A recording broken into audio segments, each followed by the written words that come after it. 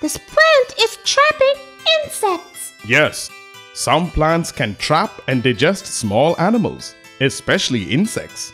You mean they actually eat small animals? Professor, can't they prepare their own food like other plants? They can. Like any other plant, they also need air, water, soil, and sunlight to grow. Then why do they eat bugs or insects? These plants grow in marshes or bogs, and boggy soil does not contain enough minerals. So the plants eat bugs or insects for the minerals. I see. Do they have teeth to eat bugs? Not at all. Like any other plant, these plants also don't have hands or teeth. They catch their food by creating a unique trap. The bug or insect gets caught in the trap, and the plant slowly digests it. Incredible!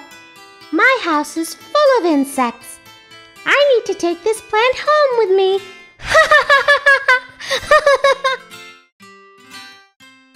Hey, do you see that tree? The huge one on the right side. Yep.